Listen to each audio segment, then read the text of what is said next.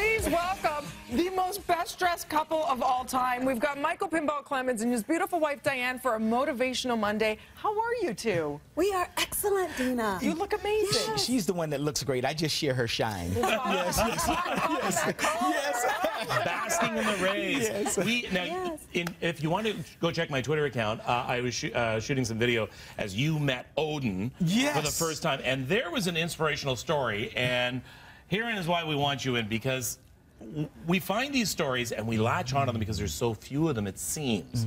So we want to talk about being inspirational, and something like that is definitely inspirational. And no question about it. And, and what a lovely young man, too. When you get a chance to meet him and know him.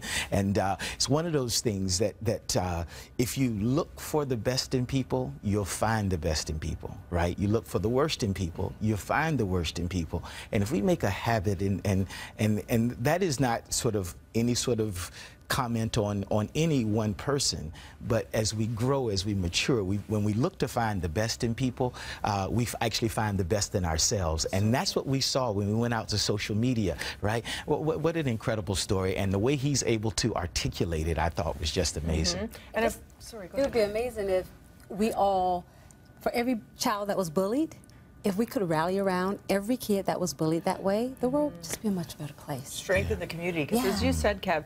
This story is all too common, but the fact that it actually, you know, gets light shining on it and we turn it into something good and strength is the rare thing. And you started the anti-bullying campaign many moons ago, right? Talk to us about that. Uh, So we, we did with the uh, Toronto Argonauts, we have a, a, a bullying program that is still very successful. It's won national awards, and, and uh, but that's, that's not the important part of, of it. Th- This story is, Frankie would be happy, it's fertilizer, right? It- it- it's, it's fertilizer for conversation because um, this was Odin, yeah, just uh, what a, what a beautiful young man, right?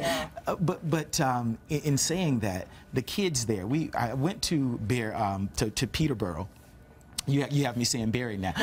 so so I, I went to Peterborough uh, last uh, year for a, a program they did with, uh, um, it was a suicide prevention program, and they rallied around a, a young man who had played on the football team, had, you know, had committed suicide, and, and what a tragic story that was. And this was a young man who looked like he had it all. He was the star of the football team, I believe the captain of the team.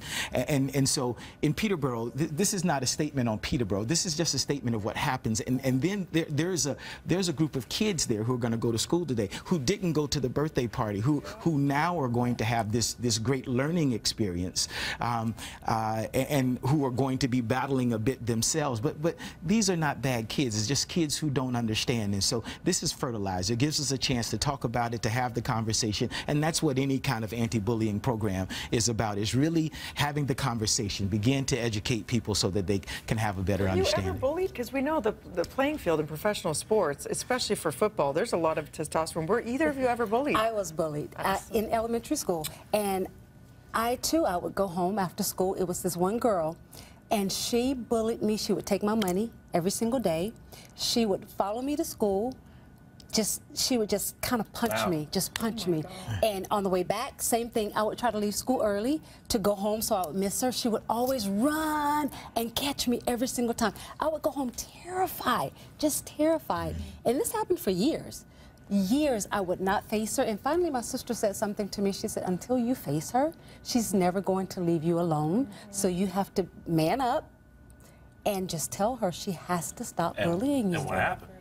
And I did. And you know what? She backed down. Yeah. Like she, Bullies she stood usually there and she looked at me like, like, what do you mean? Like she was in shock that I actually said something back to her. But I was terrified of this girl for years, just terrified. I wouldn't go outside and play because she lived in my neighborhood. I wouldn't go outside and play. Some days I would stay in the house because I knew she'd be out there and I didn't want to have to deal with it. felt alone But- and tormented, and it takes so much courage to be able to change that relationship and stand up. Give yourself a plug. Uh, tell people how they can get in touch with you, the website, the uh, Twitter account.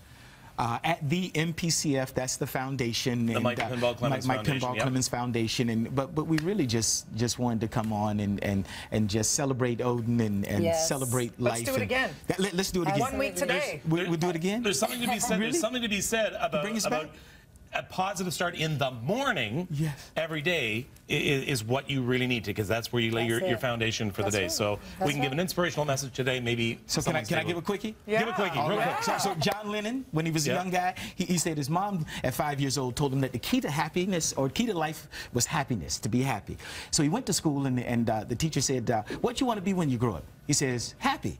The teacher says, I don't think you understand, understand the assignment. He said, I don't think you understand life. Wow, there you go. so many wonderful things from Mr. Lennon. And Diane, thank you so much. It always is an inspirational. I feel I feel good now. We can yeah. take on the world. We're going to take a break. We'll be right back and uh, head out to Live Eye one more time. Sweetheart for sharing that.